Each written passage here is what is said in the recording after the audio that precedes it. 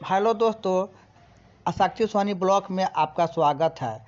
समस्तीपुर के एक टीचर ने अपने ही छात्रा के साथ शादी कर लिया। दोनों ने पहले कोर्ट में शादी की, फिर मंदिर में शादी किया।